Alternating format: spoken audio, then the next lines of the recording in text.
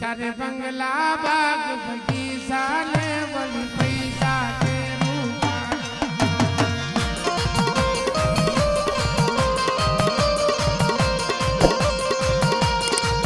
तर